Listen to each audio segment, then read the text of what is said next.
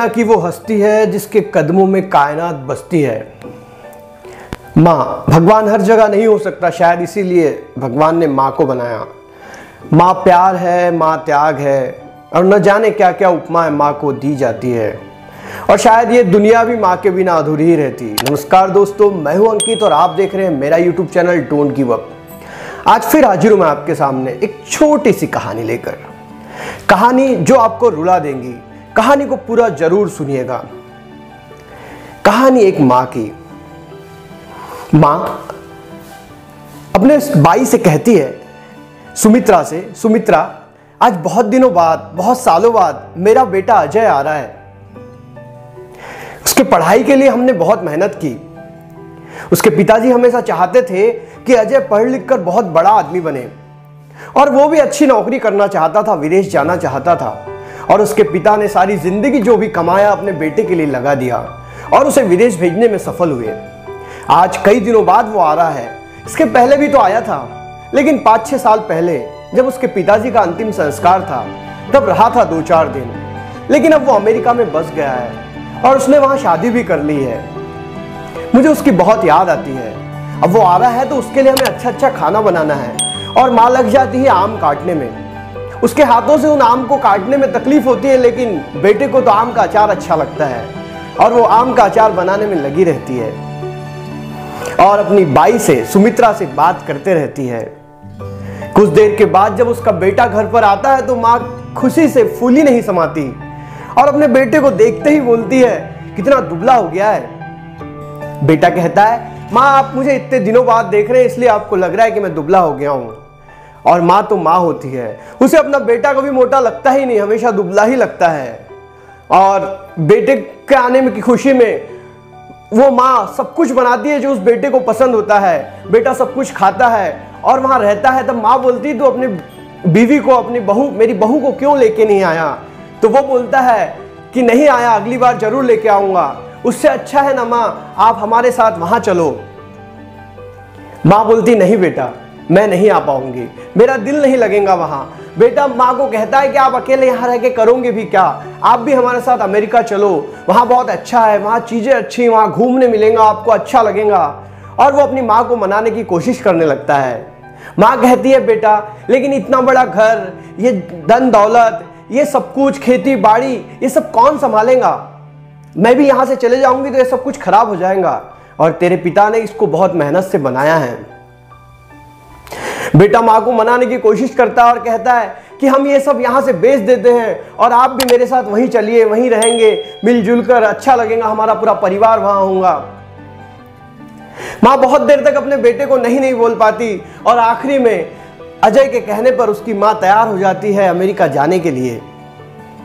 बेटा उसी रोज जाता है और उन घर, उस घर का ज़मीन दौलत का सबका सौदा करता है। धन, दौलत, ज्वेलर, ज्वेलरी गहने सब कुछ बेच देता है और अपनी माँ को लेकर एयरपोर्ट के लिए प्रस्थान करता है। एयरपोर्ट पे पहुँचते हैं। अजय अपनी माँ को एक जगह बैठालता है और कहता है कि, माँ, इंतज़ार करो, मैं टिकट लेके आ रहा हूँ। और अजय टिकट लेने चले जाता है। और इधर उसकी माँ इंतज़ार करते रहती है कि मेरा बेटा आएगा। ऐसा करते करते एक घंटा, दो घंटा, तीन घंटे बीत जाते हैं। अब माँ को घबराहट होने लगती है कि मेरा बेटा गया कहाँ? और वो रोने लगती है।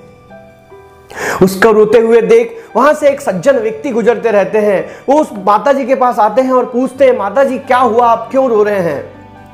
वो कहती है कि, मेरा बेटा, जो मुझे अमेरिका लेके जा रहा था, लगभग तीन घंटे से पता नहीं कहाँ चले गया। कहीं उसके साथ कोई अनहोनी तो नहीं हो गई? कहीं उसको किसी ने मार तो नहीं दिया? कहीं उसके साथ कोई हादसा तो नहीं हो गया? वो सज्जन व्यक्ति उस माता जी से उसके बेटे का नाम पूछते हैं और काउंटर पर जाकर पता करने की कोशिश में लग जाते हैं कि उसका बेटा आखिरी में गया कहाँ? बहुत जद्दोजहद करने के बाद उस व्यक्ति को यह पता चलता है कि उस माता जी का बेटा अजय तो छह घंटे पहले ही अमेरिका के फ़्लाइट से अमेरिका निकल चुका है।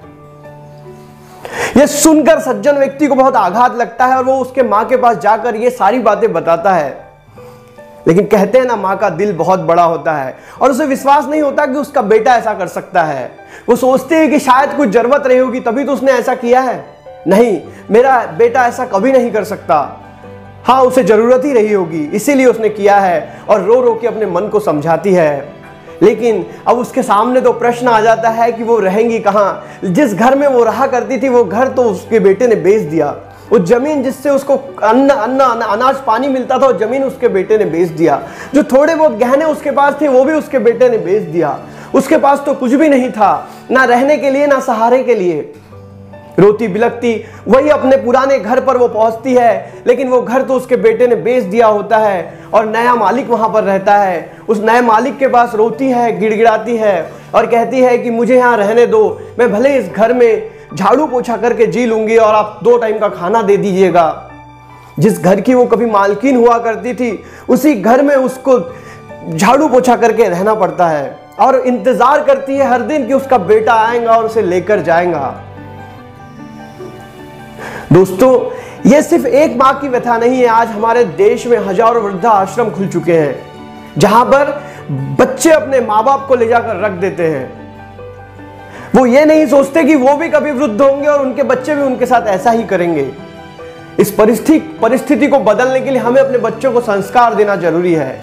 आज हम अपने माँ बाप के साथ जो व्यवहार करेंगे, वही हमारे बच्चे देखकर हमारे साथ भी वही व्यवहार करेंगे।